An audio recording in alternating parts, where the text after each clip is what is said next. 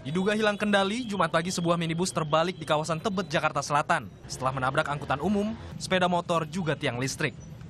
Kondisi mobil rusak parah.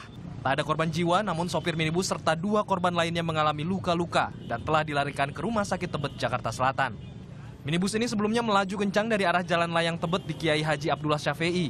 Mobil tiba-tiba berbelok dan menabrak kendaraan lainnya hingga terbalik.